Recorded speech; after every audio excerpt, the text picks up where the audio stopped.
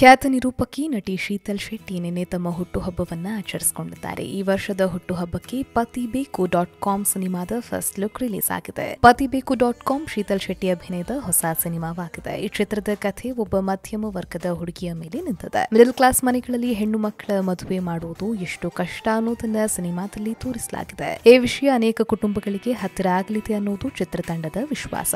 ಇನ್ನು ರಾಕೇಶ್ ಈ ಚಿತ್ರವನ್ನ ನಿರ್ದೇಶನ ಮಾಡಿದ್ದಾರೆ. ಈ ಹಿಂದೆ ಅವರು ತರ್ಲೆ ಮಕ್ಕಳು ಚಿತ್ರಕ್ಕೆ ಆಕ್ಷನ್ ಕಟ್ ಹೇಳಿದ್ರು. ಪತಿ ಬೇಕು ಡಾಟ್ ಕಾಮ್ ಚಿತ್ರತಂಡ ಶೀತಲ್ ಹುಟ್ಟುಹಬ್ಬವನ್ನ ಕೇಕ್ ಕಟ್ ಮಾಡಿಸಿ ಆಚರಿಸಿದೆ. ಜೊತೆಗೆ ಫಸ್ಟ್ ಲುಕ್ ಅನ್ನ ಉಡುಗೊರೆಯಾಗಿ ನೀಡಿದೆ? ಅಂದಹಾಗೆ, ಈ ಚಿತ್ರದ ಜೊತೆಗೆ ಶೀತಲ್ ಚೇಸ್ ಅನ್ನೋ ಚಿತ್ರದಲ್ಲಿ ಸಹ ಬ್ಯುಸಿಯಾಗಿದ್ದಾರೆ ಹಾಯ್ ಎಲ್ಲರಿಗೂ ನಮಸ್ಕಾರ. ಫಿಲ್ಮಿ ಬೀಟ್ ಚಾನಲಿಗೆ ಫೇಸ್ಬುಕ್ಕಲ್ಲಿ ಆಗಿರ್ಬೋದು ಟ್ವಿಟರಲ್ಲಿ ಆಗಿರ್ಬೋದು ತುಂಬಾ ಹ್ಯಾಪನಿಂಗ್ ಚಾನಲ್ ಇದು. ಖಂಡಿತವಾಗ್ಲೂ ಸಬ್ಸ್ಕ್ರೈಬ್ ಆಗಿ.